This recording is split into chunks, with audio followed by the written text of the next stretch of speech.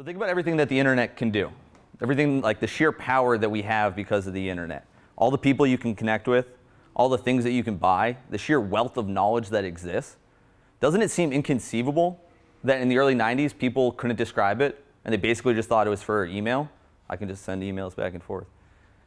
It is just as inconceivable that people think that the blockchain will only be for cryptocurrency.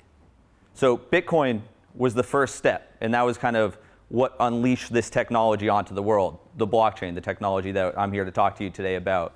Um, as he said, I'm Jack. I am of Day One Investments. We are an emerging fund that's focused on blockchain-enabled services and technologies. We see that this technology is going to enable emerging markets to leapfrog and create stability through stability, transparency, efficiency. This technology, the blockchain, is going to do for financial services and trust-based services and things like land registration what the internet did for commerce, social connectivity, and marketing. So this all start, let's start with the problem that the blockchain solves first. So it takes three days to send money from one bank to another. That's ridiculous considering you can send emails across the world instantly. So the reason why it takes that long is if I want to send money to my friend in Australia, it goes from my small bank here in California to a larger bank, to an intermediary, to a large bank in Australia, and then ultimately to his bank. Each one of those entities needs to record the transaction, facilitate it to the next person, and reconcile that it happened. That takes time and it costs money. The blockchain enables for the first time two individuals to directly send money to each other in a way that is guaranteed to be valid and final. That's wild. There's no need for a trusted parties in the middle. You can now transfer value anywhere in the world at the drop of the hat. So the way it works is that instead of having all these intermediaries record and say that this existed here and I'm going to pass it here and it happened and so let's record this and let's make sure that all works there are computers on this network. It's a distributed network where all these computers hold the same truth of events from the inception of the blockchain to the point that we are at right now. So as I go to create a transaction and I send you money, the, uh, the computers on the network validate that at some point in time leading up to now, I had accrued enough value to send. So I have enough value in my account to send to your account. They validate that your account exists and that I authorize this transaction.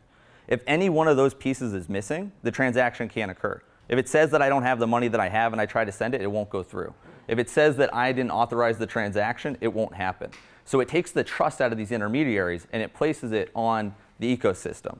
All right, so I'm going to continue again and then yeah, yeah. thank you.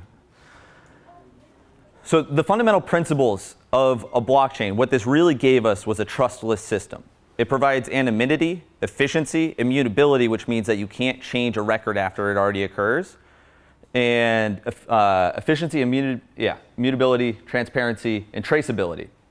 So this enables transactions to be valid and final, which is something that had never happened ever before.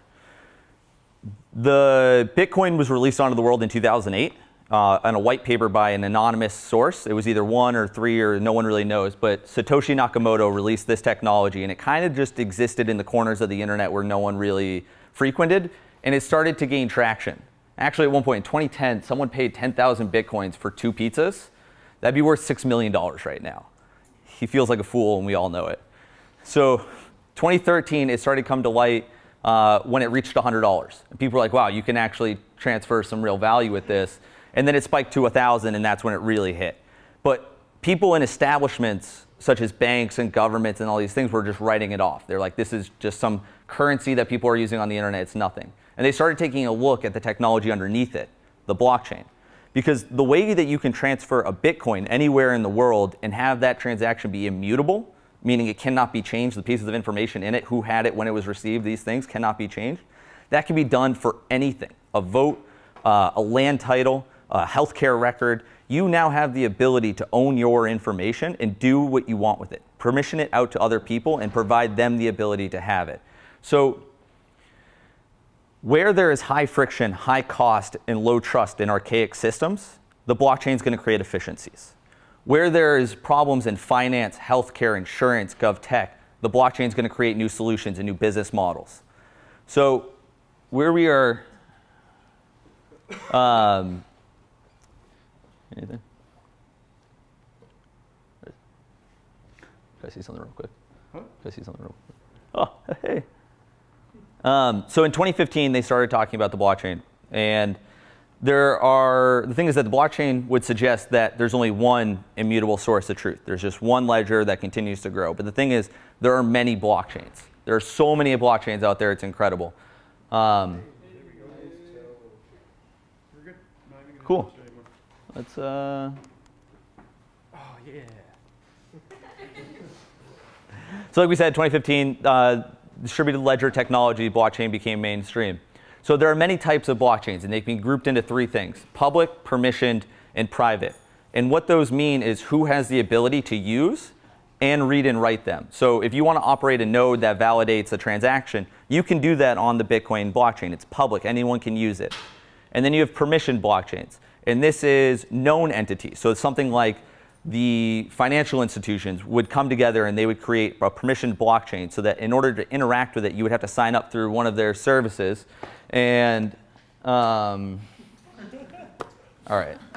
So you would have to sign up through one of their services in order to do it. But that's good because that provides anti- anti-money laundering, and that enables people to create more efficient bond markets and creates financial inclusion because now people can be reached where they could not be reached because this technology creates efficiencies. And then there's private blockchains, and private blockchain means that there's one entity that controls it, and and they and you have to come through them in order to use it. Each one of these blockchains puts a different value on um, anonymity, efficiency, immutability, and transparency. So the public blockchains, for example, they want immutability, anonymity, and uh, transparency over efficiencies. And permission blockchain, something like banks would use or the healthcare industry would use, wants to have efficiency, and mutability over transparency and anonymity. They want those people to be known. So in healthcare, let's talk about healthcare for a minute. Um, right now, your medical records, you've gone and visited so many different doctors over the course of your life that if you go into a hospital right now, into the ER, they have no idea what you've been treated for. They have no idea how you've been treated and what you've been treated with. With the blockchain, you can create one succinct medical record. Everywhere you go, they would add that piece of information, that new piece of information. You came with the flu and we treated you with this. You broke your arm and you had these painkillers, whatever it was would create one true history of who you are as a medical patient. And as you walk into an ER, you could have that for you. That's great here in the States. But imagine what it can do in emerging markets where there's not very good health care and there's no real record keeping system yet that's effective or efficient. As you travel from country to country, you leave behind who you were as a patient. You now have the ability to go from Syria to Canada and they can treat you for everything that you need. That's incredible. The other thing that you can do, yeah. But can it be done a uh, like privacy issue, like somebody not to see what I have and or I cannot see what other has because then it can be Yeah. So the, the blockchain enables you to encrypt pieces of information and certain pieces of information. So this is a really great point. So I have all this information about who I am as a patient, right? And I find that some Stanford University is doing a clinical trial and they need information and they need to aggregate these data records. So I can sell my data to them and only release information such as I'm a male between the ages of 20 and 25. I am living in California. I've been treated for these diseases and no other piece of information. I have complete control over my records and who sees what because now I own the record. So that so yes, it can be done and people can't see it. Only those that you want to see it have the ability to see it.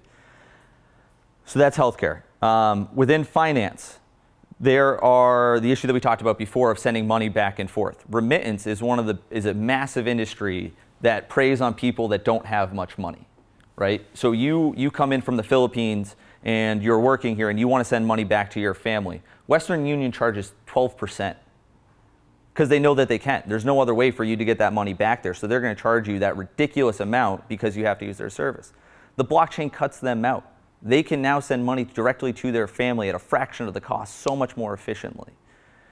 Microloans. In Brazil, right now, it costs you 300% in order to, for, your debt costs you 300%. If you have credit card debt, they charge 300%. If you take a loan, sometimes it's as much as 400%. That's ridiculous. The blockchain will enable people to receive microloans from anywhere in the world. So institutions that are here, here in the United States, people that are here in, in Europe, wherever it is, they can provide a loan to an individual in Brazil for a fraction of the percentage, undercutting that market. That's ridiculous.